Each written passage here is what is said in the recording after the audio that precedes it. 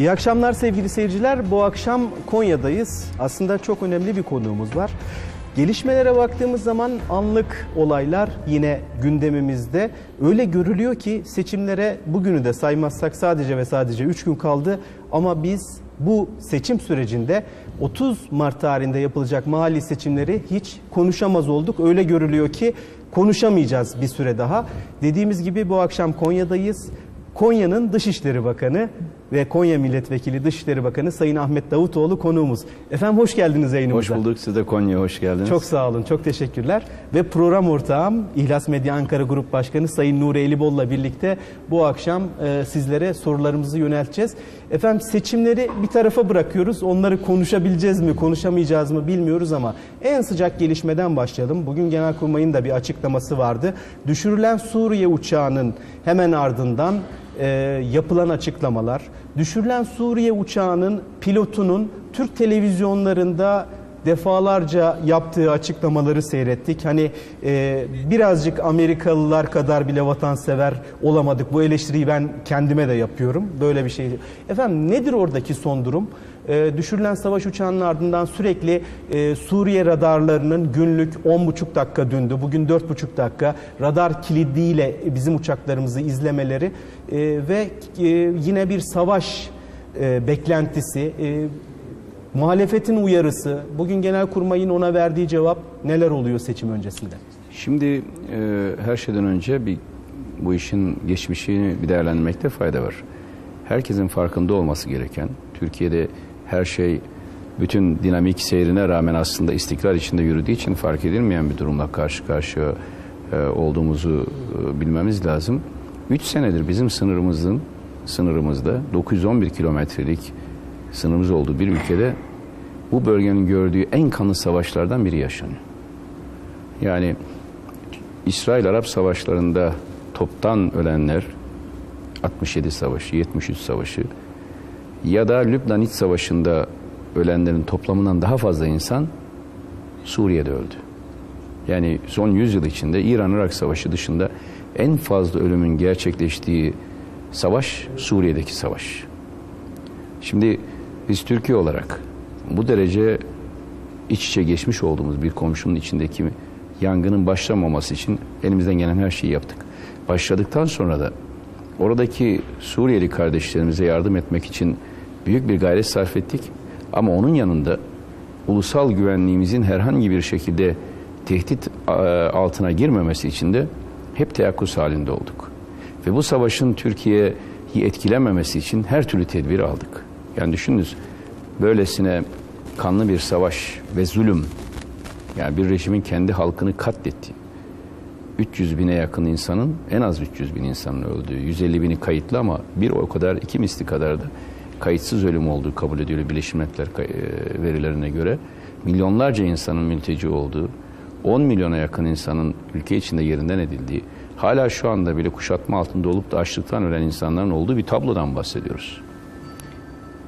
Hükümetimiz takip ettiğimiz politikayla böyle bir krizin Türkiye'nin e, ekonomisini, siyasetini, sosyal dokusunu etkilememesi için her türlü tedbiri aslında aldık ve aslında hiç kimse de bu kadar sıcak bir savaşın yanımızda seyrettiğinde de farkında değil. Şimdi burada bizim için en önemli konu insani boyutunu bir koya, kenara koyarsak hani insan kenara koyulacak bir şey değil ama hani onun üzerinde zaten üzerimize düşeni yapıyoruz. Türkiye'nin ulusal güvenliği ile ilgili husustur. Türkiye e, hiçbir e, gerekçeyle ve hiçbir e, komşu ülkeyle olan ilişkisini göz önüne alarak güvenliğinden taviz veremez. Orada göstereceğiniz her zaaf size bumerang gibi döner, çok daha ağır bir bedel ödetir. Şimdi e, bu üç sene içinde hem sınırlarımızın e, istikrarı bağlamında, güvenliği bağlamında hem de savaşın Türkiye etkilememesi bağlamında aldığımız tedbirlerden biri angajman kurallarımızı değiştirmektir. Bu da ne zaman oldu? Türkiye istediği için olmadı bu. Biz bunu bir an hani Türkiye e, öyle bir hava seziliyor ki sanki hükümetimiz çok savaş e, meyilli veya gerilim yanlısı bir politika takip ediyor. Hayır. Suriyeliler, Suriye rejimi bizim uçağımızı düşürdüğü için biz angajman kurallarını değiştirdik. Ve bunu bütün dünya ilan ettik. Ve dedik ki Bundan sonra Türkiye uluslararası hava sahasında uçağı düşürülmüş olduğu için Suriye'den Türkiye sınırına dönük gelecek olan ve e, belli bir iletişim e, imkanını göz ardı edecek olarak gelecek olan her nesneyi düşmanca bir tavır olarak değerlendirir, tedbirimizi alırız. Sonra da bu angajman kuralları çerçevesinde Bakanlar Kurulumuz Türk Silahlı Kuvvetleri'ne mukabele bil misil ile cevap verilmesi, her şeye mukabele bil misil. Kim tarafından gelirse gelsin. Bizim tarafa bir top ateşi düşerse nereden geliyorsa İki top ister rejim ister işitten iki top ateşi gidecek. Misliyle. Misliyle tabii. Bize dönük bir hava ihlali olursa hiçbir şekilde müsamaha gösterilmeyecek. Şimdi bu kurallar ilan edilmiş. Suriye yönetimine de rejimine de bildirilmiş. Şimdi böyle bir e, durumda Türkiye'nin göstereceği herhangi bir caydırıcılık zaafı çok daha büyük bedeller, bedeller ödetir bize. Nitekim Eylül ayında bildiğiniz gibi bir helikopter ihlal etti. Silahlı kuvvetlerimiz son derece etkin bir müdahaleyle onu düşürdü. Şimdi bu son olaya geldiğimizde. Bu olayın e, oluş seyri e, çok net. İki Suriye uçağı sınırımıza yaklaşıyor. Ve e, sınırımıza belli bir mesafeye gelince e, bizim e, radarlarımız tarafından ve hava kuvvetlerimizce hava savunması uyarılıyorlar. Türk sınırına yaklaşıyorsunuz. Girmeniz halinde mukabelede bulunuruz. Dönün diye. Dört kez uyarılıyorlar. Önde olan bir tanesi ilki bunu duyduktan sonra kendi sınırlarına doğru manevra yapıyor. Batıya doğru manevra yapıyor. İkincisi kasıtla sınırlarımızın içine doğru giriyor. Hani duymamış olması eğer o olmamış olsa öbürü de duymazdı. Yani burada çok net bir şekilde sınır ihlali kastı var. Bir kilometre sınırımızın içinde ilerliyor. Tekrar uyarılıyor. Yani sınırımızın içine girerken uyarılıyor. Bir kilometre girdiğinde de angajman kuralları gereği silahlı kuvvetlerimiz, hava kuvvetlerimiz aldıkları talimatın gereğini yapıyorlar. Olay budur. Şimdi gerçekten üzücü olan ise biz bizler hangi siyasi görüşe sahip olursak olalım, hangi mesleği icra ediyoruz olursak olalım, Türkiye Cumhuriyeti vatandaşıyız. Bu ülkenin gücü bizim gücümüzdür. Bu ülkenin zaafı bizim zaafımızdır. Bu ülkenin itibarı bizim itibarımızdır. İster muhalefette olalım, ister iktidarda. İster gazeteci olalım, ister siyasetçi. İster akademisyen olalım, ister iş adamı olalım. Şimdi hep bizi üzen açıkçası bu ortak hissiyatın bu derece zede, zedelenmiş olması. Bakınız neredeyse hiçbir kesimden net bir silahlı kuvvetlerimize ve hükümetimize böyle sınırlarımızın etkin korunması dolayısıyla net bir teşekkür yani bir takdir ifadesi gelmediği gibi muhalefet sözcü, e, bazı muhalefet sözcüleri ve bazı yayın basın yayın organları sanki seçim döneminde bir senaryo içinde hükümetin prestij kazanmak için yaptığı bir hamle olarak yansıttı. Şimdi gelelim. Çok tehlikeli bir şey. Tabii çok tehlikeli. Bir de mantığı var mı? Önce ona bakalım. Sonra tehlikesine gelelim. Yani biz Suriye rejimini aradık hükümet olarak. Bize bir uçak gönderin. Bizim sınırı ihlal etsin. Bugünlerde bizim böyle bir popülariteye ihtiyacımız var. Biz de bu arada sizin uçağınızı düşürürüz. Yani bunu mu Seçimlere dedik? giderken prim Ha, yaparız. Yani bunu mu? Ancak böyle olabilir bu. Ya böyle bir senaryoyu makul görmesi gerekir bunu söyleyenlerin ya da buna inanmaması gerekir. Ya da şunu demesi gerekir. Bu bu hiç makul bir senaryo olmadığı için hadi bunu olmayacağını varsayalım. O zaman şunu diyor bunlar aslında. Muhalefet sözcüleri ve basın bırakın gelselerdi. Niye vuruyorsunuz ki? Niye sınırlarınızı koruyorsunuz ki? Seçimde kullanmak için bunu ku- kullanmamanız için sizin ses çıkarmamanız lazımdı. Yani o uçak Ankara semalarına gele- gelene kadar da dokunmamalıydık belki. Şimdi Ama bu mudur? Geçen, geçen bu mudur yani? de aynı kesimler, aynı cepheler, bizim uçağımız düşürüldüğünde de size çok ciddi eleştiriler yönelttiler. Tabii. Eliniz bağlı Ha, mıydı? tabii. Elinize vuran mı vardı? Niye karşılık vermediniz? Niye, düşürsen gereğini suç, yapmadınız? düşürmesen Peki suç. hayır şöyle e, diyelim. Hadi diyelim ki e, bir şekilde müdahalede bulunulmadı. Bu sefer de derlerdi ki bu bilgi duyurulduğunda, duyulduğunda angajman kuralları Delindi. ne anlama geldi? Delindi. Kırmızı çizgiler pembeleşti. Ne yapsanız Sınırlarımız suç eleye döndü. Şimdi bu bu bir mantık mı? Yani bunun bu zamanlamayla ne alakası olabilir? Bu zamanlamayı biz mi tayin ettik?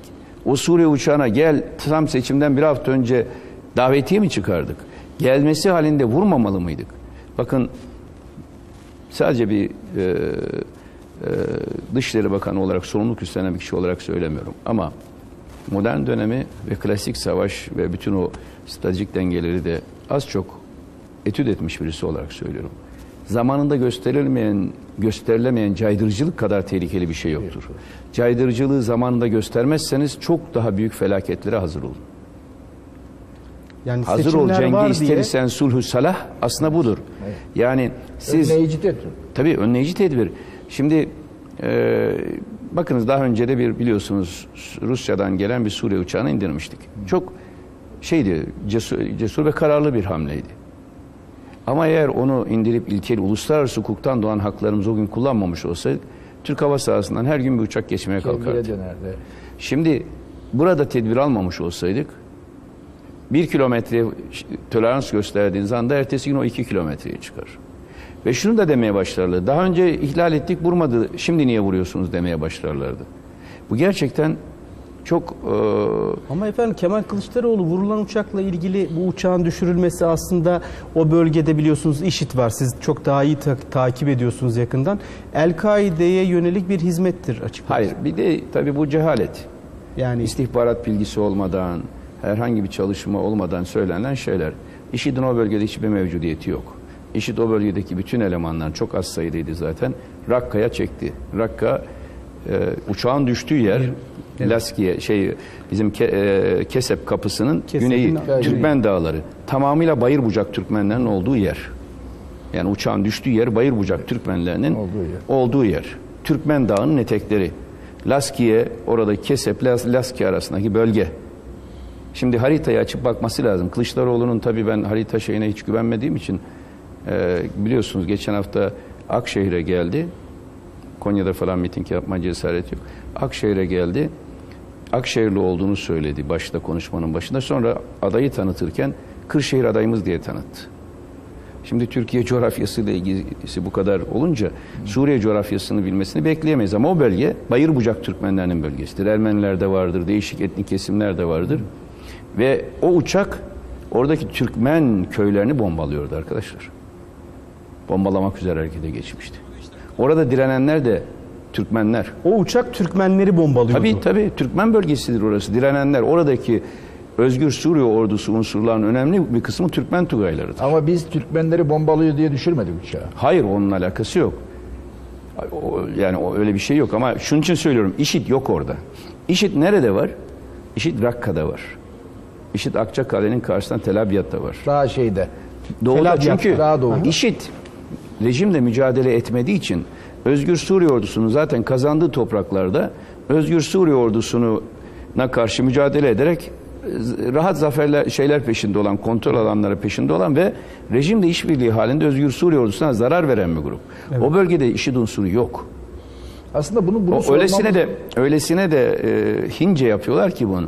En Nusra cephesiyle diyor şey Nusra'yla, evet. Nusra cephesiyle e, şey İslam e, cephesi unsurları ele geçirdi ve Kesebe Nusra'ya koydu. Hayır.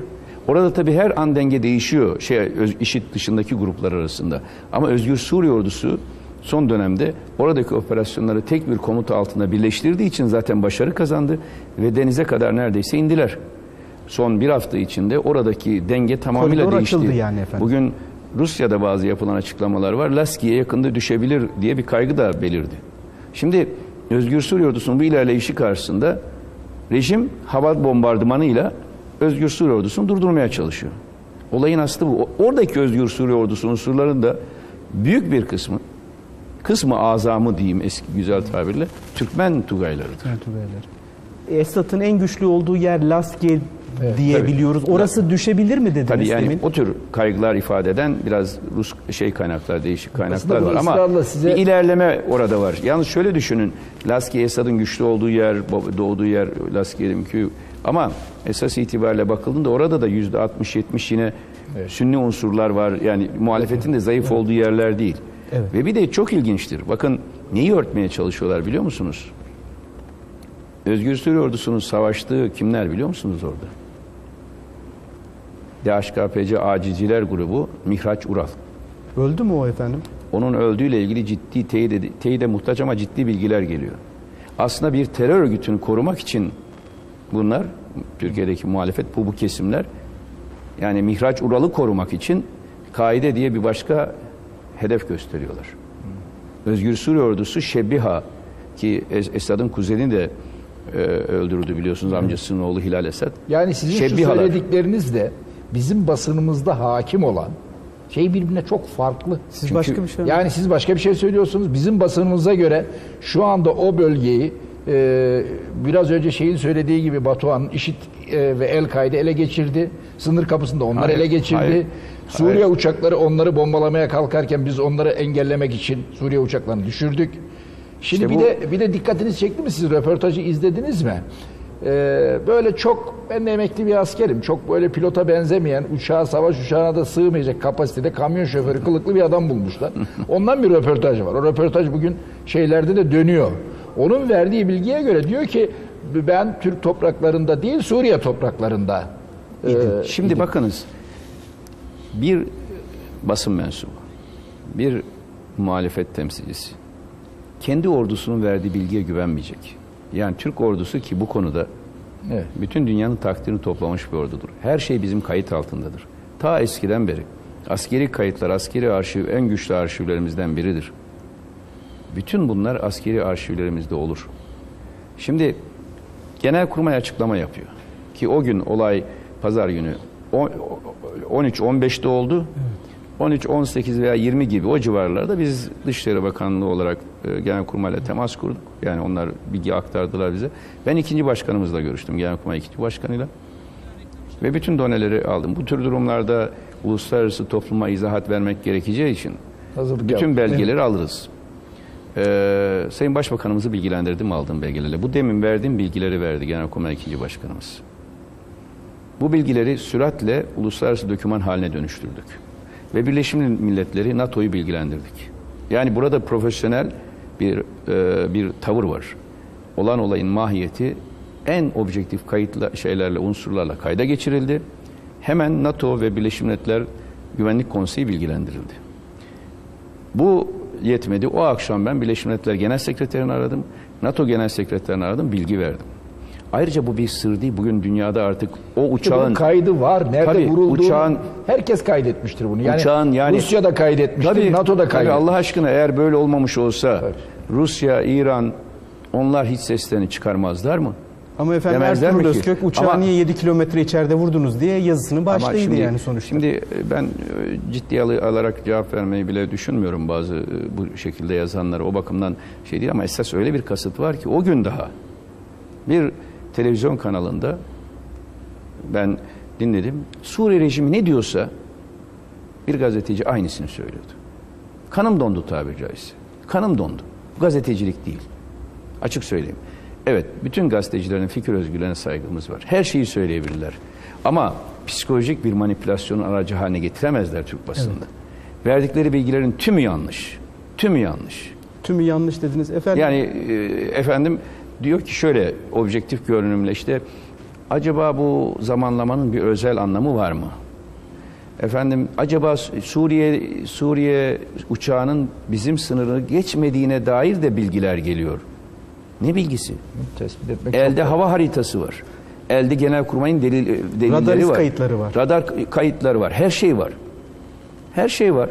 Şimdi buna rağmen hangi e, e, kaygı ile ki kendi hükümetini, kendi ordusunu uluslararası toplum nezdinde şüpheye düşürecek ve suçlu durumuna düşürecek bir tavır takınılıyor. Bakın yurt dışı basında, uluslararası basında bile Türkiye'yi hiç kimse tenkit etmedi. Etmedi, evet. Hiç kimse var mı getirsinler desinler ki Türkiye şu, bu Biz- operasyon dolayısıyla tenkit edilir. İçimizde herhalde çok fazla tenkit aldık. Efendim ben sözünüzü balla kesmek istiyorum. Bir reklam aramız var. Yalnız bu konuda bir husus daha e, vurgulamak istiyorum. Belki onu dönünce şey yapalım. Evet, Yani. onu dönünce Tamam. şey yapalım. Efendim e, devam edeceğiz. Özellikle Süleyman Şah Türbesi ile ilgili kameralar söküldü iddiası. Bundan sonra ne olacak? Orası e, Türkiye eğer olası bir saldırıda orayı nasıl savunacak? Twitter'la ilgili konu ve paralel yapı kısa bir aradan sonra bunları Sayın Davutoğlu ile konuşmaya devam edeceğiz.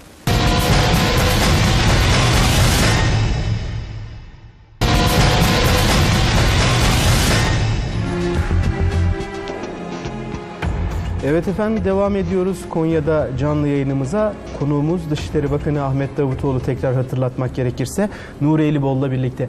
Efendim e, kısa kısa gidelim çok sorumuz var size. E, Süleyman Şah Türbesi ile ilgili olan konu. Orada kameraların söküldüğü işte orada e, bayrağın indirilmesiyle ilgili bir talep geldi işitten. Yoksa biz buraya saldırırız sözleri. Bununla beraber bir savaş çıkart, e, çıkartılacağına dair yine sosyal medyada tarafınıza suçlanan, tarafınıza yöneltilen suçlamalara ne diyeceksiniz? Şimdi- Yani ben bir şey ilave edebilir miyim bu konuda? Bu, bu toprağı biz koruyoruz. Bu toprağı korumakla ilgili de Türkiye Cumhuriyeti Devleti'nin bir takım planları var.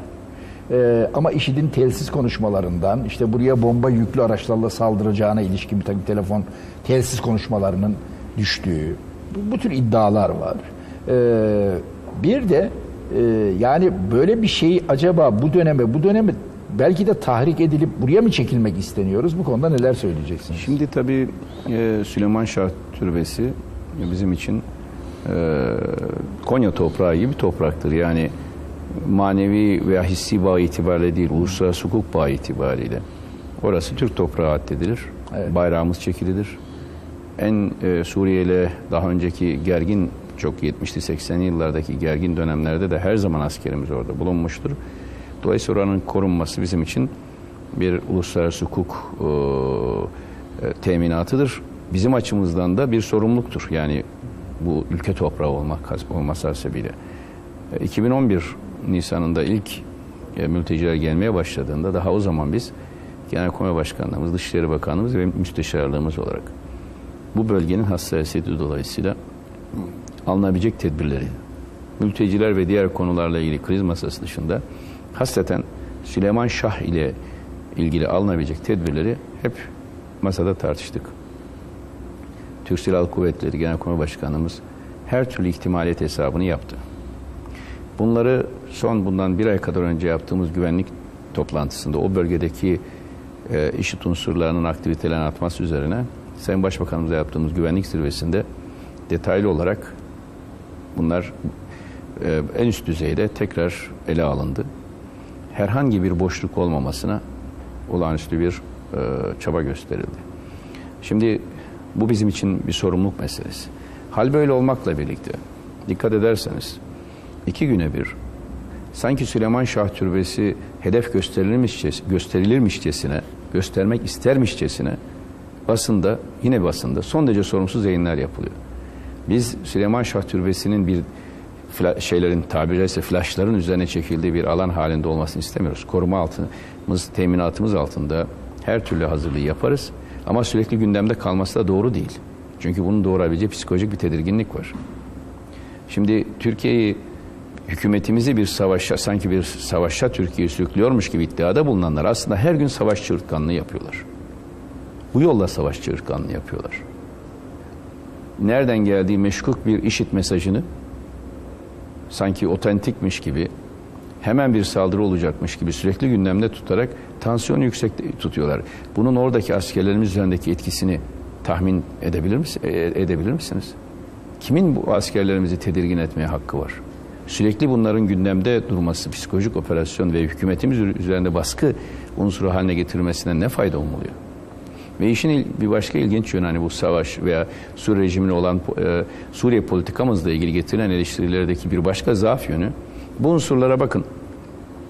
Özellikle belli gazeteler son dış politika eleştirilerinin tümünde hükümetimizi, başbakanımızı, bizleri, hükümetimizi İran yanlısı olmakla suçladılar Evet. değil mi? Evet. İran yanlısı olmakla suçluyorlar. İran bizim komşumuz. Rusya gibi, Yunanistan gibi. İyi ilişkiler geliştirmek hedefimiz. Ama Türkiye kendi politikasını takip eder. Bizi İran yanlısı suçlamak, e, suçlama çabası içinde olanlar Suriye'ye dönük. Bu politikamızdan da rahatsız oluyorlar. Yani Suriye ile ilişki, Suriye ile İran'ın kol kola olduğunu Tabii biliyoruz. tabii onu kastediyorum. Efendim orada sizin Peki biz İrancı biz olmak ne demek? Yani onu niye suçluyorlar? Orada nedir hedef? Ben Yani- Twitter'da okuyorum sürekli. Beşir Bey ayda 80 kere gidip geliyormuş. O zaman yani İran'dan çıkmıyor. Siz MİT müsteşarı. MİT müsteşarı, siz e, İran'ı e, Yani Ace- e, peki- Acemleri en fazla peki- destekleyen nedir peki- efendim bunun peki, altyapısı? Şimdi hem hem Suriye rejiminin argümanlarını kullanacaksınız. Yani MIT e, şeyin MIT'in yardım tı- tırlarını durduracaksınız. Kime yardım etmektir bu? Yani Suriye rejimine en büyük yardımı, en büyük desteği Türkiye içinde bu MIT yardımlarını durduranlar yaptı. Suriye rejimine destek veriyorsunuz. Peki Suriye rejimini kim destekliyor? İran. Suriye rejimi ayakta durduğu zaman karlı çıkan kim? İran. Yani bunu İran'la rekabet ediyoruz anlamında söylüyorum. Tabloyu netleştirmek açısından söylüyorum. Her şeyini İran'a borçlu şu an. peki, peki Suriye rejimine karşı biz mücadele ediyorsak nasıl İran'a İran yanlısı bir politika takip etmiş İrancı oluyoruz? olabiliyoruz.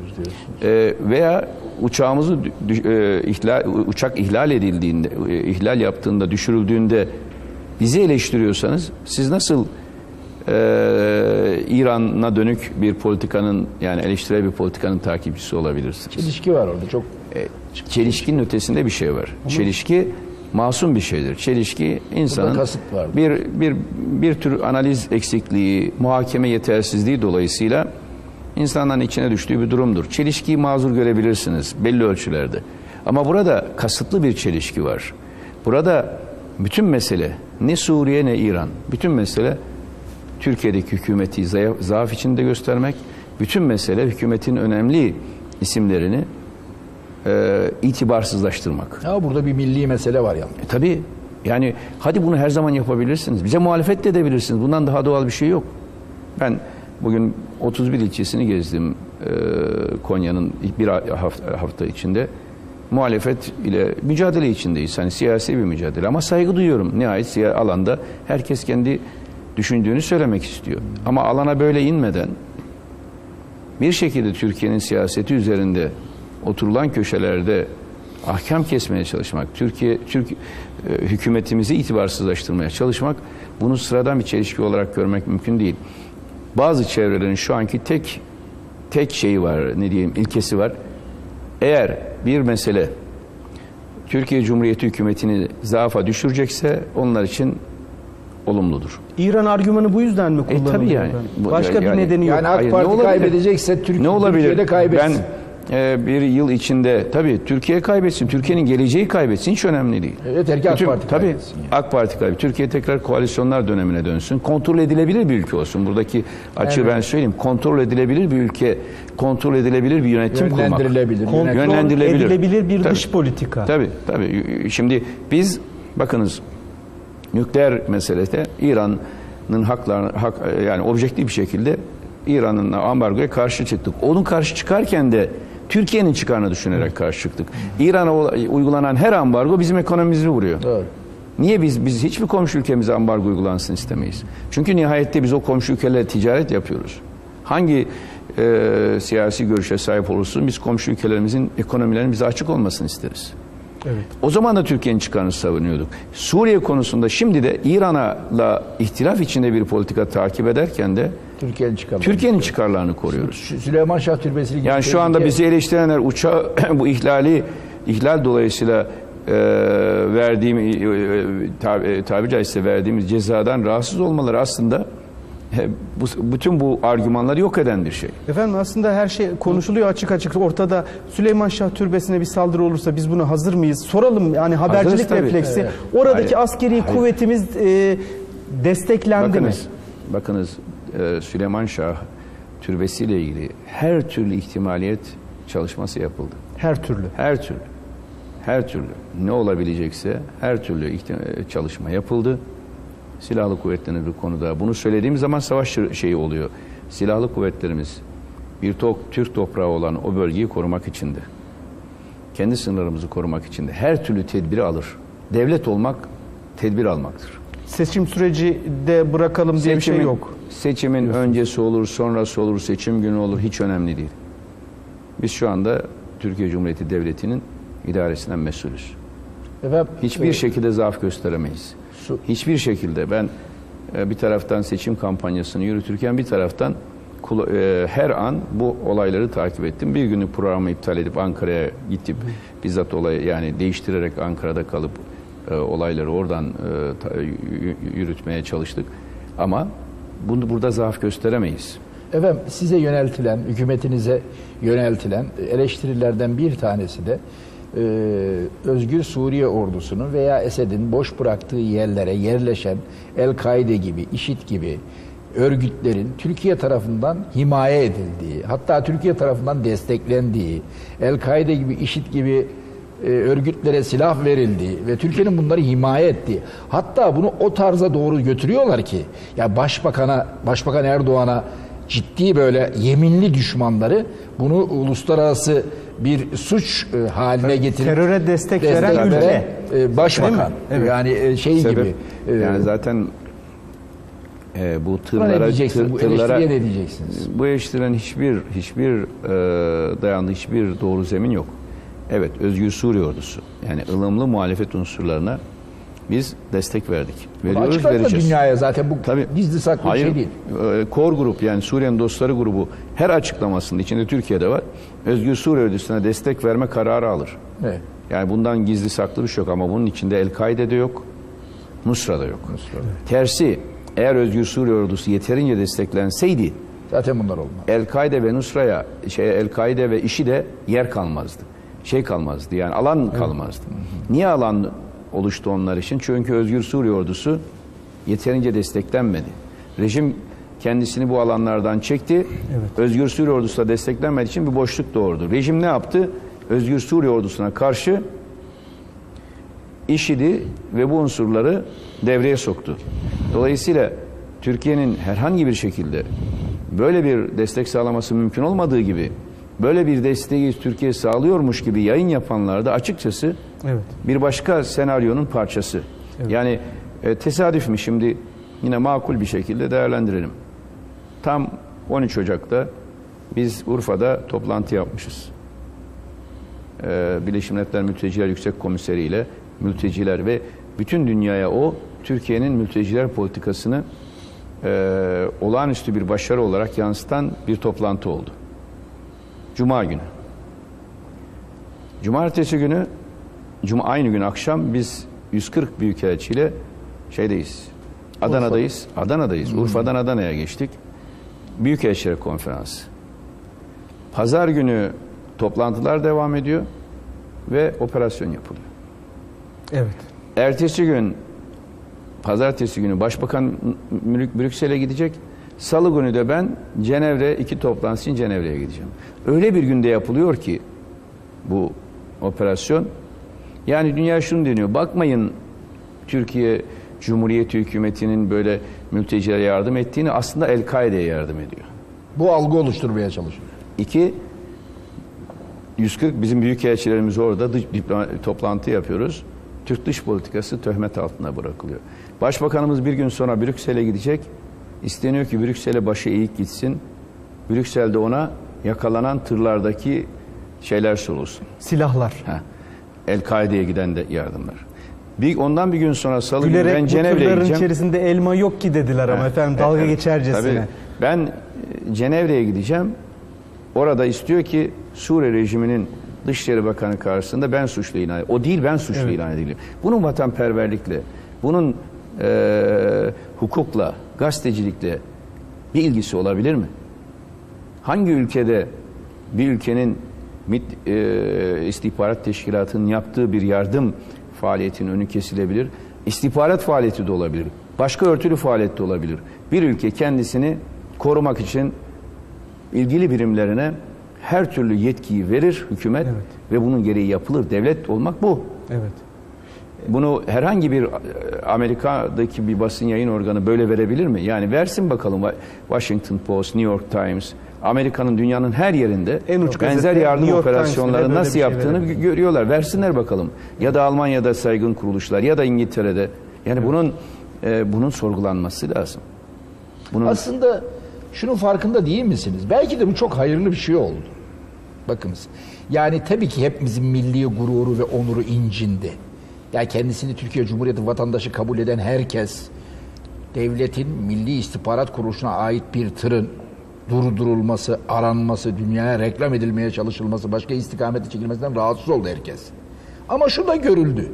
Eğer o tur durdurulmasaydı, bugün başbakanın meydanlarda bas bas bağırdığı paralel yapının ne yapmak istediğini de çok fark edemeyecektik bu kadar. belki belki evet. buna bir faydası İşte başta söylediğim çelişki orada kendini gösteriyor.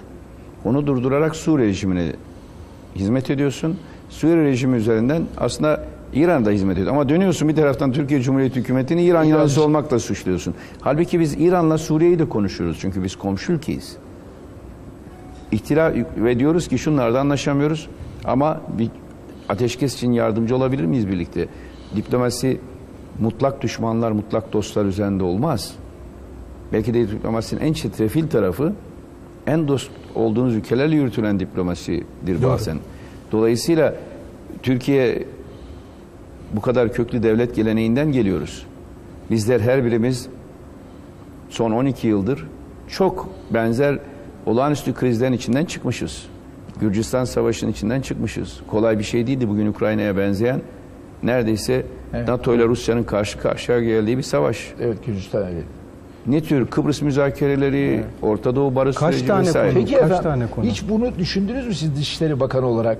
Ee, sizin dış politika desteğinizi sağlayan istihbarat kuruluşunuza, Milli İstihbarat Teşkilatı'na, Milli İstihbarat Teşkilatı bir faaliyetinin bu şekilde kendi hukuk birimleriniz tarafından, yani Türkiye Cumhuriyeti'nin Adalet Bakanlığı'nın bünyesinde yer alan Türkiye Cumhuriyeti bağımsız savcıları tarafından bu şekilde takip edilmesi, durdurulması, engellenmeye çalışılması bu sadece iç bir mesele olarak mı görmeliyiz? Bunun küresel boyutu nedir? Uluslararası boyutu nedir? Yabancı servislerle olan ilişkisi nedir? Bunları hiç düşündünüz mü? Bunları masaya Tabii yatırdınız. mı? bunları tabii ki düşünüyoruz. Tabii ki e, bunların arkasındaki mantığı anlamaya çalışıyoruz.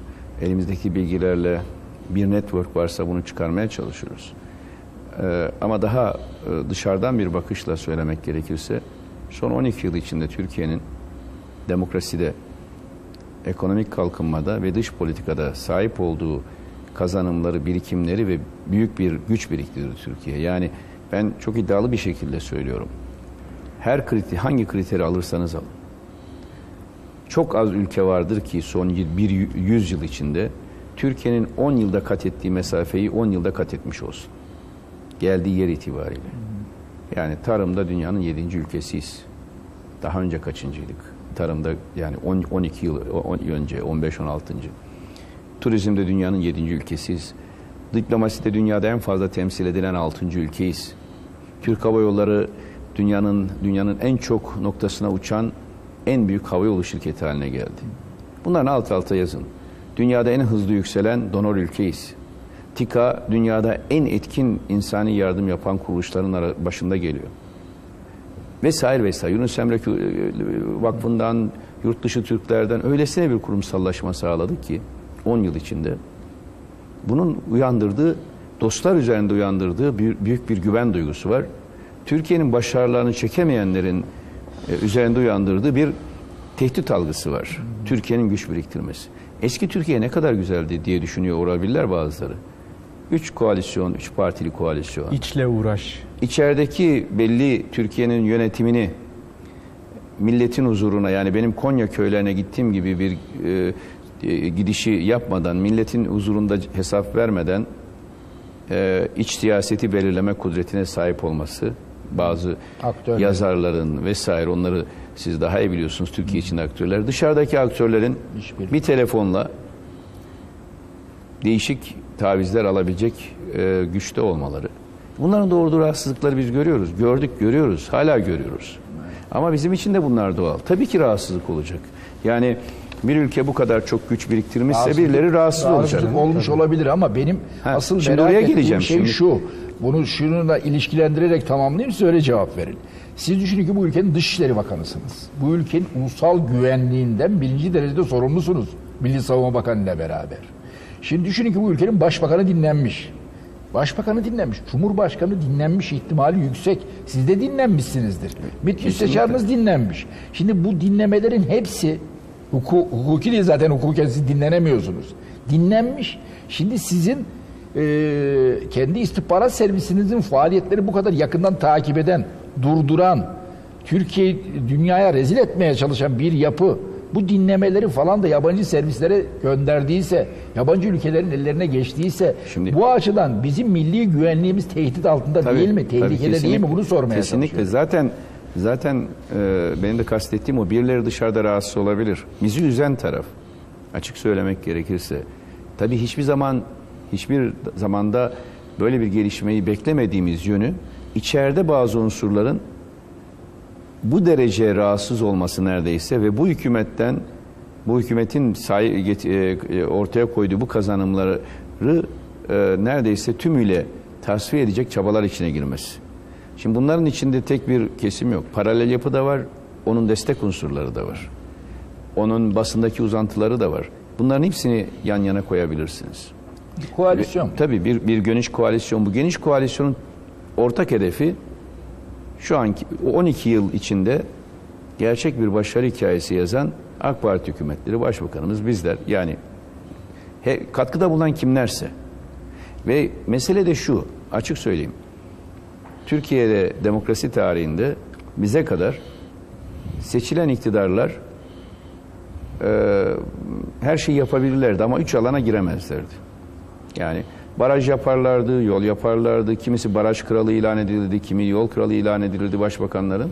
Bir dış politika. Bir, bir ulusal güvenlik meseleleri, dış politika, ulusal güvenliğin içinde istihbarat da var. Bir de uluslararası makroekonomik ilişkiler. Yani onlar seçkinlerin işiydi. Tabii.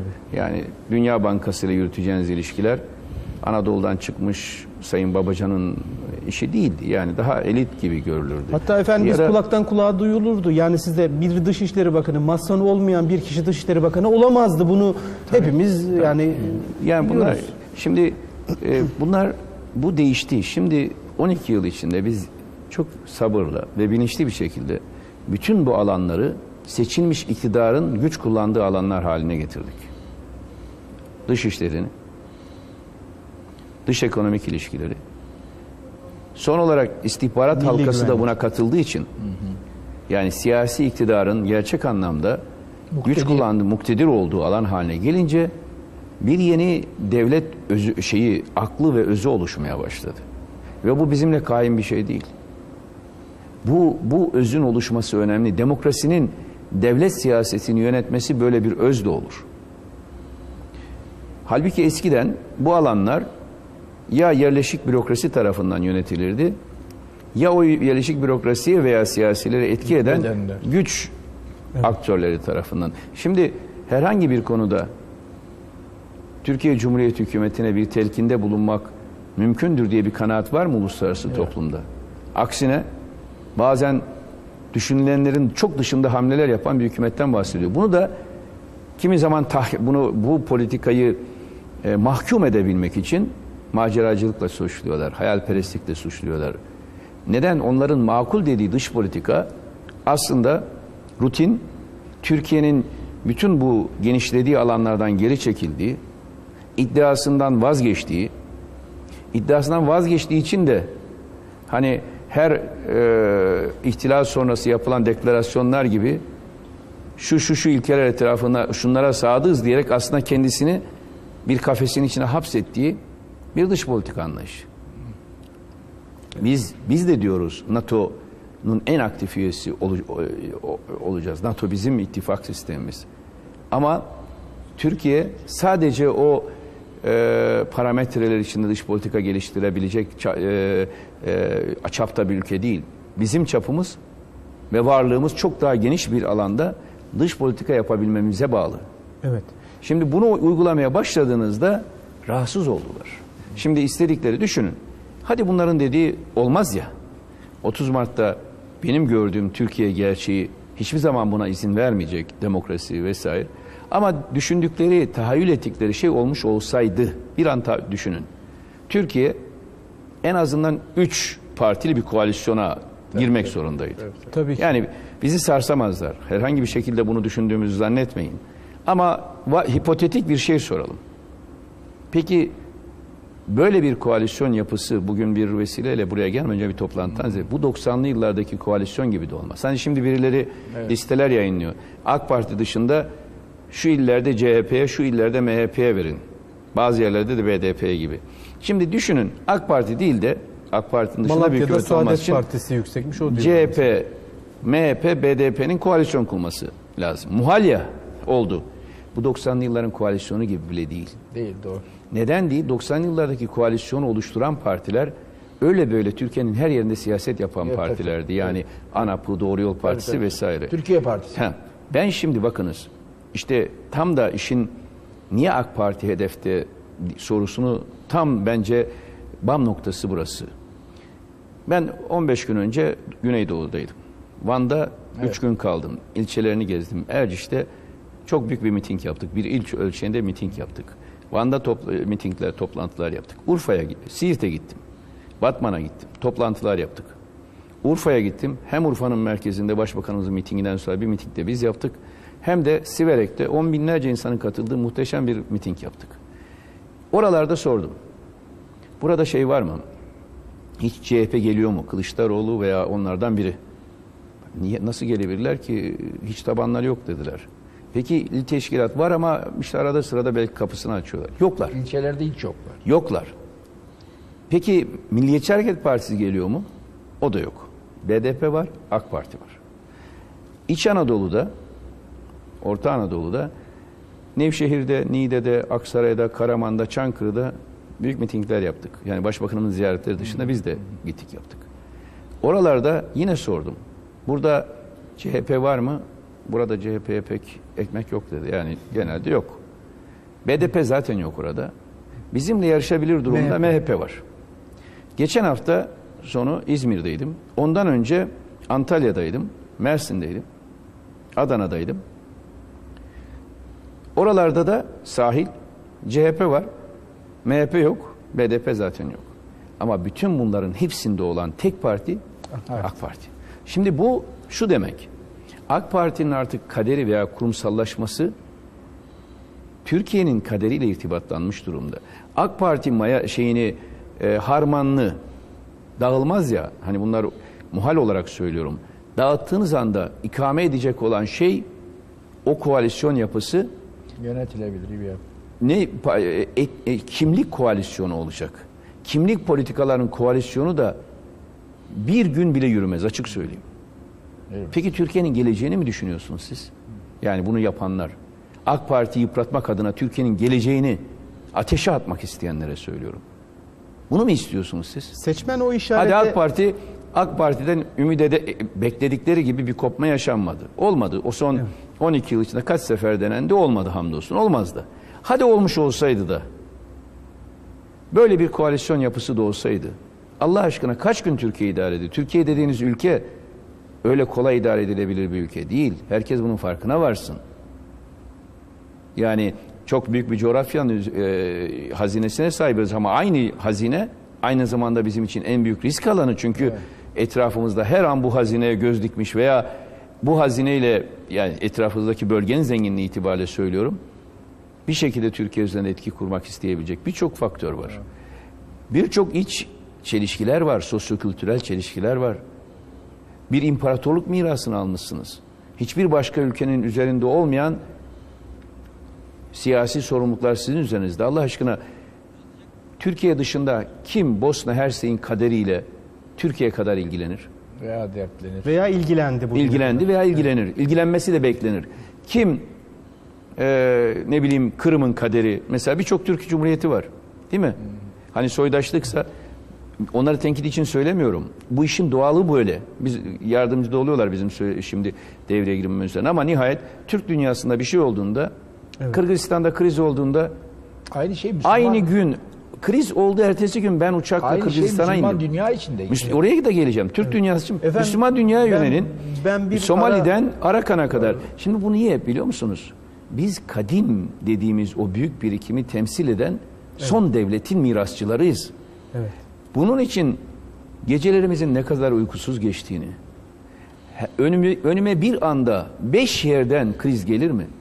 Gelir. Beş ayrı dosya her birine karar vereceksiniz. Her biri de çok önemli. Ç- İşte 200 kadar e, soydaşımız Tayland'da mahsur kalır. Bakın Tayland Arakan değil mi efendim? yok hayır. Evet, Tay- Bu Tayland'da, şey, şeyde, yani oradaki evet, evet, ha, pardon. o- ve son birkaç yıl içinde yüzlerce bu şekilde olayla karşılaştık. Nereye döner yönleri? Buraya döner. Kimin ilgilenmesi beklenir? Bizim ilgilenmemiz beklenir. Hangi ülkenin, bakın iddialı bir şekilde söylüyorum, büyük Avrupa ülkelerinin üzerinde dahi böyle bir sorumluluk yok. Böyle bir sorumluluk yok. Ve mesela dış politika bahsinden sadece söyleyeyim.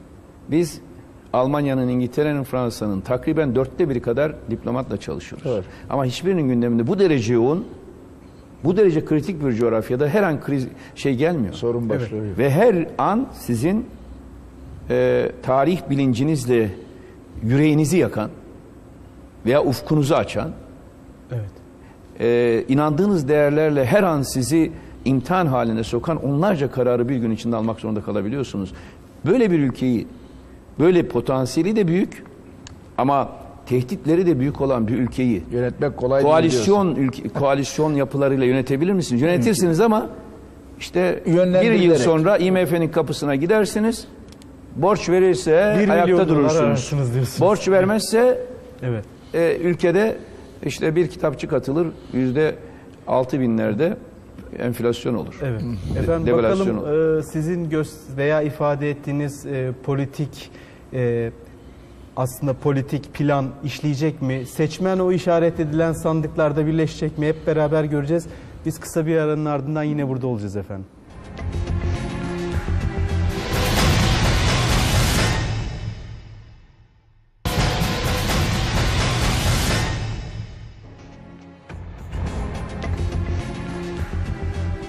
Evet efendim Konya'da canlı yayınımıza devam ediyoruz. Aslında e, hiç bahsetmedik, biraz da ettik Konya Büyükşehir Belediyesi'ne.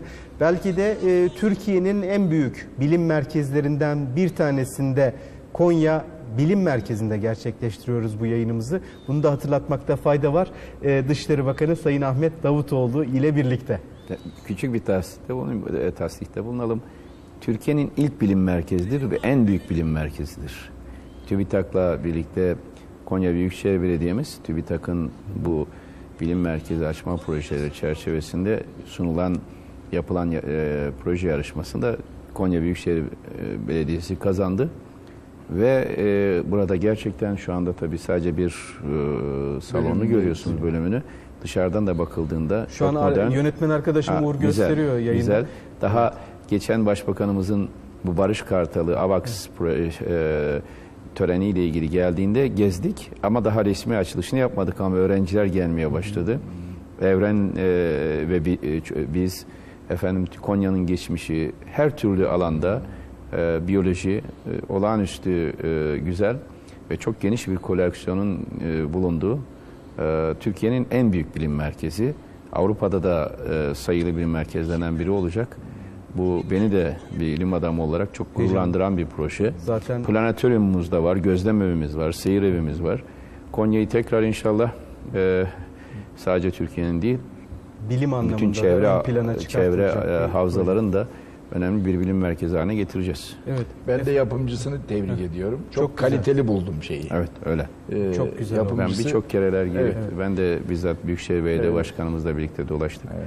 Çok güzel bir e, çalışma oldu. Tebrik İnşallah ediyoruz. benzer örnekleri diğer Tahir Akgürek Bey'iydi. Evet. Efendim aslında şu paralel e, yapıyla ilgili şöyle e, kısa kısa gidecek olursak şöyle bir önemli bir soru var. Şimdi bakıldığı zaman MHP, CHP hatta Sayın Kılıçdaroğlu'nun e, bozkurt işareti yapması e, ne kadar vardı? Hani daha önce birisi söylese bunu e, kimse inanmazdı ama şimdi bakıldığı zaman başbakanın bütün her şeyi o paralel yapıyı ve cemaati dahi aynı potada toplayıp konsolide ederek kendi seçmenine dönelik e, mesajları vermesi de burada var. Yani aslında AK Parti ve diğerleri siz demin söylediniz. CHP'nin güçlü olduğu yerde CHP, MHP'nin güçlü olduğu yerde MHP bu şekilde bir seçime gidiliyor. Yani aslında bir tarafta siz varsınız, bir tarafta diğerleri var. Bu sizin için dezavantaj değil mi? Tabii e, sadece bir tarafta biz var, diğer tarafta onlar var gibi değil. Bir tarafta istikrar var Türkiye açısından. Diğer tarafta belirsizlik var. Esas ona dikkatinizi çekmek istiyorum. Demin misali onun için verdim. Yani ana muhalefet partisi bir ülkenin ve demokrasinin en elzem şartlarından biridir. Ama ne zaman o şart yerine gelir, Türkiye'nin bütünde siyaset yapabiliyorsa, bunu yapamadığı zaman siyasi parti bölgeselleşir, marjinalleşir. O zaman marjinalleşen partiler bir araya geldiğinde bir bütün oluşturmazlar. 2 artı 2 4 etmez ya. Oluşturmazlar. Marjinalleşen partiler bir araya geldiklerinde daha fazla marjinalleşirler. Kutuplaşırlar marjinalleşmenin ötesinde. Türkiye'de kutuplaşmayı engelleyen teminat öyle göstermeye AK Parti ve diğerleri edince sanki biz de kutuplaşmayı te- şey yapıyoruz gibi tercih. Hayır. Türkiye'de kutuplaşmanın ilacı şu anda AK Parti. Bunu böyle görmeleri lazım. Eğer AK Parti e, gibi bir siyasi yapı son 14 yıl içinde doğmamış olsaydı şu anda Türk siyaseti Kürt ulusalcıları, Türk ulusalcıları, çağ dışı kalmış bir e, başka şey Batı ulusalcıları arasında tamamıyla parçalanmış bir siyasete gömülürdü. Ama biz Orta Anadolu'ya geldiğimizde, bu meydanlara çıktığımızda bu milletin ta Orta Asya'dan beri gelen, o Horasan erenleriyle gelen serüvenlerinin diliyle konuşabiliyoruz. Ben Diyarbakır'a gittiğimde, Urfa'ya gittiğimde Mezopotamya diliyle konuşabiliyorum. İstanbul'a, İzmir'e gittiğimde, Edirne'ye veya Trakya'ya gittiğimde de Türkiye'nin modernleşmesini anlatabiliyorum. Evet. Bu modernleşme içinde batılaşma serüveni de dahil olmak üzere bütün bu toplumsal maceramızı fark etmişiz. Şimdi AK Parti böyle bir harmanı karabiliyor. Ee, CHP'nin, MHP'nin yapması mümkün olmayan şeyler bunlar. Yapması mümkün değil. Yani CHP'nin bu zihniyette gelip de Konya'nın herhangi bir ilçesinde, herhangi bir köyünde hitap etmesi çok zor. MHP'nin gidip Van'da hitap etmesi mümkün değil. Veya Hakkari'de. BDP'nin başka bir yerde hitap etmesi mümkün değil. Şimdi AK Parti bayasını dağıtmak isteyenlere söylüyorum. Yaptıkları planın ya da oynadıkları oyunun ne kadar tehlikeli bir oyun, kendileri için de ne kadar tehlikeli bir oyun olduğunu görmeleri için söylüyorum. Türkiye için de ne kadar tehlikeli bir oyun olduğunu. AK Parti mayasını dışarı çekin. Siyaset nereye kalacak? Kim tekrar bunu karabilecek ve bir başarı hikayesine dönüştürebilecek? Kolay olmadı bu başarı hikayesi. Ne kadar güçlü siyasi parti olursanız olun. Arkanızda bir başarı hikayesi oluşturamazsanız ayakta duramazsınız. Efendim Türkiye'deki bütün dini cemaatlerin size bir yakınlığı vardır benim bildiğim kadarıyla. Hepsi sizi tanırlar, severler. Siz de onlara gidersiniz, gelirsiniz. Ee, bir de bilim adamı olmanız hasabıyla da size ciddi saygıları da vardır. Ee, bu anlamda hizmet hareketiyle hizmet hareketiyle hükümetinizin ilişkileri son 12 yıldır hiçbir sorun yaşamadan bugüne kadar geldi. 17 Aralık gününe kadar da bu yapı size destek verdi hükümetinize. Kendi gazeteleriyle, televizyonlarıyla en azından öyle biliyoruz, öyle gördük.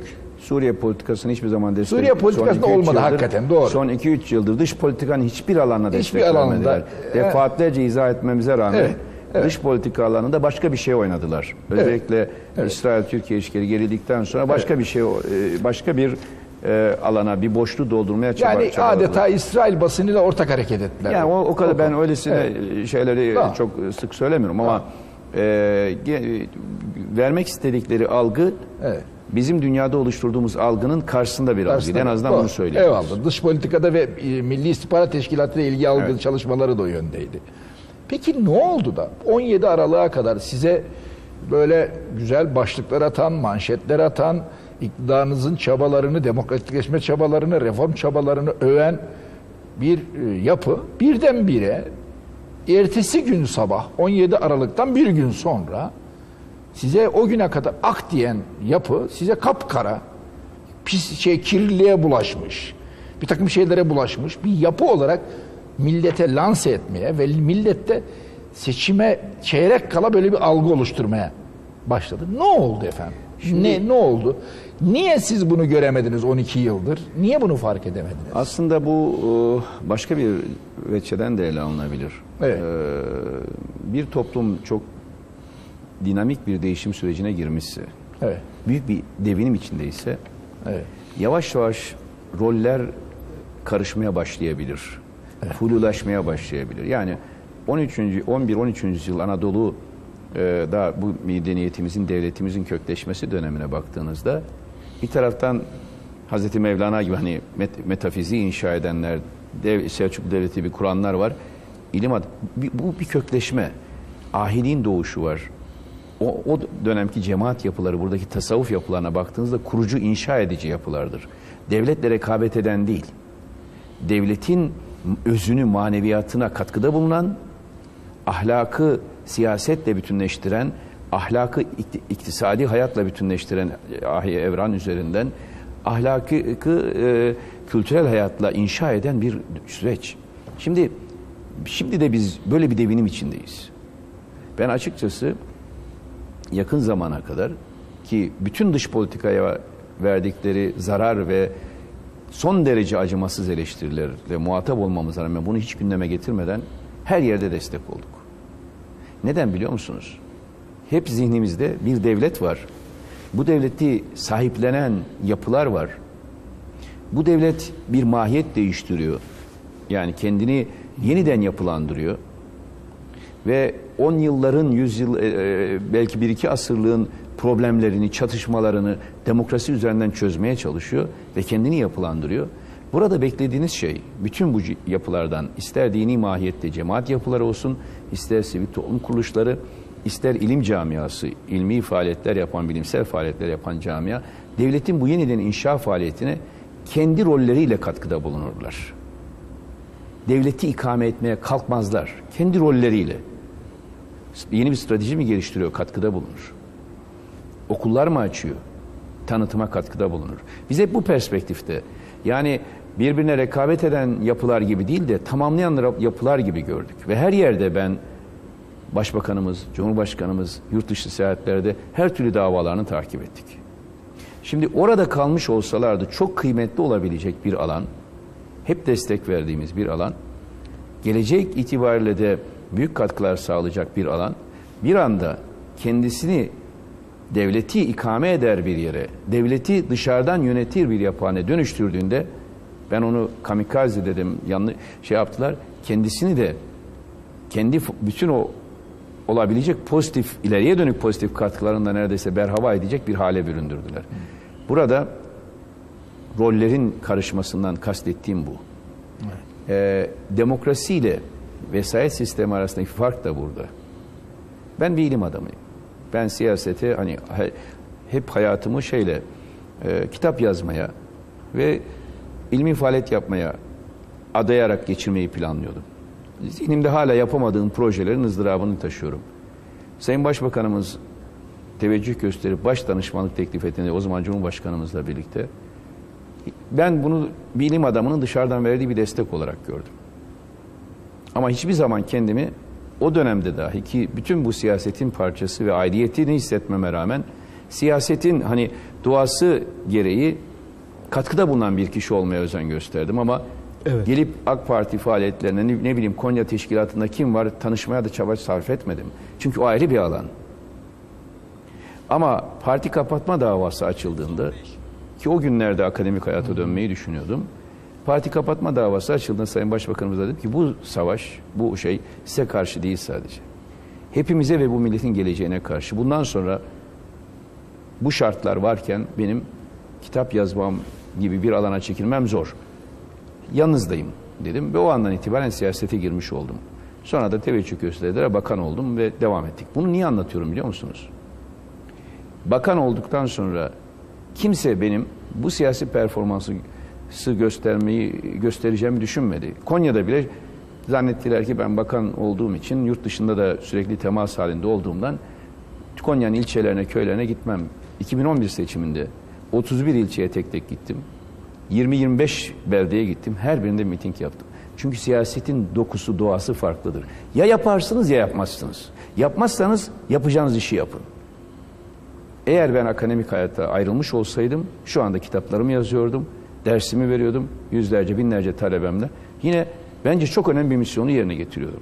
Ama siyasetteyseniz, siyaset yapacaksınız. Bu ülkenin siyaseti şöyle olsa iyi olur diyebilir bir ilim adamı. Ama bu ülkenin siyasetini başbakanın yerine yerine kendini koyup yönetemez. bir ilim adamı tutup da ben dışarıda oturayım. Bu bizim İslami gelenek itibariyle de söylüyorum. Batılı gelenek itibariyle de. Ehli sünnet geleneğinde de bu yoktur.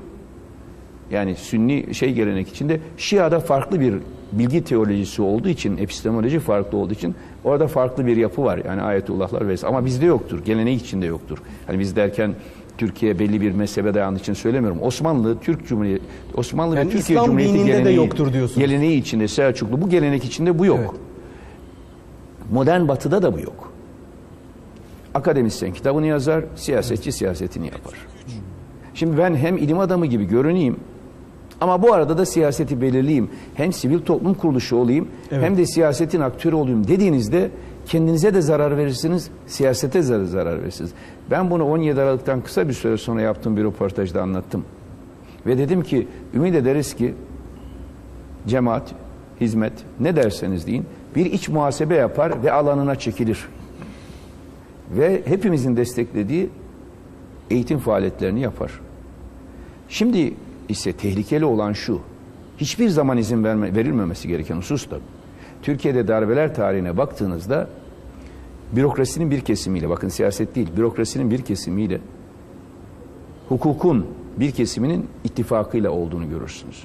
Bu Osmanlı döneminde siyasetin nihai otoritesi olan sultanın hallerinde de görürsünüz. Yeniçeri bürokrasisiyle e, e, Şeyhülislam'dan alınan fetvanın işlevselliğinde Sultan Abdülhamid'in hallində, şeyinde de hal edilmesinde de görürsünüz. Modern dönemde 27 Mayıs ihtilalinde de görürsünüz. 12 Eylül müdahalelerinde de. Şimdi Türkiye demokratikleşmeyle bunu aşmıştı. Yani artık Türk Silahlı Kuvvetleri profesyonel bir ordu olarak ve saygın bir devlet kurumu olarak siyasetin dışında kalmaya başladığı bir dönem başlamıştı. Şimdi bunun yerine bu sefer polis içinde bir yapılanmayla, yargı içinde bir yapılanma üzerinden siyaseti belirlemeye kalkarsanız Yeni bir vesayet yani. o zaman başka bir alan doğar. Eğer ilim adamları, eğer sivil toplum kuruluşları siyaset yapacaklarsa, onun için kendi tecrübemden örnek verdim. Giyecekler çizmelerini, dolaşacaklar Anadolu'yu, istedikleri MİT müsteşarını mı atamak istiyorlar. Seçi halktan yetki alacaklar, başbakan olacaklar, kendi müsteşarını atacaklar. Yani hizmet hareketine siz o zaman bir siyasi parti kurun diyorsunuz. Tabii ne yapmak istiyorlar onu yapsınlar. Yeter Türkiye- ki bilelim tanımlanamayan şey hukuki değildir. Aslında efendim Türkiye'yi yönetmeye talip olmak mı? Tabii bu? şimdi ben esas daha asli bir şey söylüyorum. Tanımlanamayan şey hukuki değildir. Değildir, doğru. Tanımı doğru koymak lazım. Tanımı doğru koymak lazım. İş dünyası siyaset ilişkileri de böyle. Yolsuzluk iddiaları ile ilgili ben hep söyledim. Bizimle ilgili bir şey varsa her şey ortaya konmalı. Ahlak eğer bu roller karışırsa iş dünyası siyaseti yönetmeye kalkarsa veya arada değişik networklar oluşursa burada da bir başka yozlaşma çıkabilir. Varsa bunların üzerine hep beraber gidelim. Hep beraber gidelim. Hiçbirisine en ufak bir tolerans gösterilmesin. Ama burada siz hukuki görünen davaları biriktirip biriktirip bir takım dinlemelerle sanki dinamik şey etkisi, bomba etkisi yapacak dinamitleri arka arkaya getirir gibi seçimden bir kısa süre önce bunu yapar. Arkasından Türkiye'nin en stratejik konularını ilgilendiren hususlarda başbakanı dinlemeye kalkarsanız, e, bizleri dinlemeye kalkarsanız işte o zaman bunun adı başka bir şey olur. Ya alanınıza herkes alanına çekilecek, siyaset siyaset yapısı olarak doğası gereği siyasi olacak. İlim doğası gereği ilmi olacak. Sosyal faaliyet doğası gereği sosyal faaliyet olacak. Bunları karıştırdığımızda hani Eflatun'un ta eskiden beri o kadim gelenekten gelen adalet her şeyi hak ettiği yere koymaktır.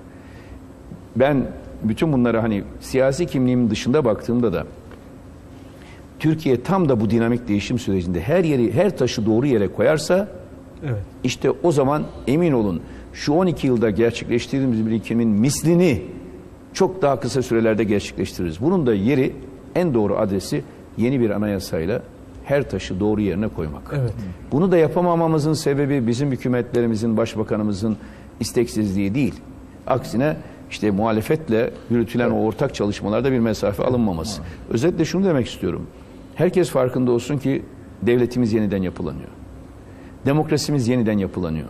Burada özgürlük alanlarını genişletmek, bunun yanında devletin kendisini kendisini güç birikimi itibariyle her türlü meydan okumaya hazır kılacak şekilde yeniden tanzim etmesini sağlamak ve her taşı da doğru yere koymak şartıyla olağanüstü bir e, yükseliş döneminin ne bileyim sıçrama döneminin e, devam ede- edeceğine daha ileri noktalara geleceğini söyleyebiliriz. Aksi takdirde herkes farklı rollere soyunmaya başlarsa o zaman Özgürlük dediğiniz bu. Twitter yasağıyla ilgili muhataplarınızdan eleştiri arıyor musunuz? şimdi Ee, Süremiz bitti ama Nur abi. Yani e, efendim saat 12 oldu. E, Peki. Twitter'la ilgili çok Ben- kısa bir şey. Çok kısa. e, O çok konuda e, görüş beyan ettim ama değişik hı. yayın organlarını yine söyleyeyim. Ee, ben bu tür e, alanlarda tam özgürlük yanlısıyım her zaman. Ama şunu da söyleyeyim. Felsefi olarak da eylemsel olarak da hani pratik olarak da her özgürlüğün bir ahlaki sorumluluğu vardır. Ahlaki sorumluluk olmadan özgürlük kullanalım derseniz bir müddet sonra o özgürlüğe zarar verirsiniz. Twitter'da maalesef bu ahlaki ve hukuki sorumluluk alanı tanımlanmadığı için o kadar büyük e, kişisel hak ihlali oluyor ki bu konuda mahkeme karar verdiği zaman verdiği problemin o da orada. Burada siyasi bir konu değil. Bence hukuki bir konu var. Mahkeme bu kararı verdi.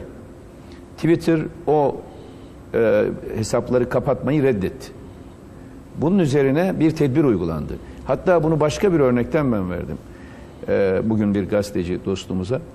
E, Türkiye'de bir iş, bir e, vatandaş bir ülkeden alacaklıydı. O ülkenin uçak şirketine haciz koydurdu. Ve bir diplomatik kriz oldu bu. Evet. Şimdi bunun gibi kişisel hukukun zedelendiği yerde uluslararası şirketlerin o hukuku tazmin etmemeleri veya o hukuku korumamaları durumunda bir takım hukuki süreçler işliyor. Burada Twitter bir özgürlük e, meleği değil aynı. Aynı zamanda bir uluslararası şirket, kar yapan, bunun vergisini ödemesi gereken, sorumlulukları olan bir şirket. Türkiye'de ofis açmayacaksınız. Vergisini ödemeyeceksiniz. Her Mahkeme türlü özgürlük alanı uymayacaksınız. Mahkeme kararını uygulamayacaksınız. Ümit ederiz ki şimdi bu temaslarla sürekli Ulaştırma Bakanımızla, tip başkanımızla temas halindeyiz. İnşallah e, Twitter'da hukuki sorumluluklarını yerine getirecek bir çizgiye gelir ve Sorun Twitter ve bütün sosyal medya tam özgürlük içinde kullanılmaya devam edilir. Dışişleri Bakanı Sayın Ahmet Davutoğlu. Efendim çok teşekkür ediyoruz yayınımıza katıldığınız Ben için. teşekkür ederim. Ağzınıza sağlık. Sağ olun efendim. Başarılar diliyoruz. Artık son düzlüğe girildi. Çok kısa süre kaldı. Efendim bu akşam Konya'daydık. Dışişleri Bakanı Ahmet Davutoğlu'yla hem Türkiye'nin hem dünya gündemindeki konuları tartıştık. Sorular yönelttik, cevaplar aldık. Ve her zaman olduğu gibi biz yorumu sizlere bırakıyoruz ve Konya'dan iyi akşamlar diliyoruz efendim. Hoşçakalın.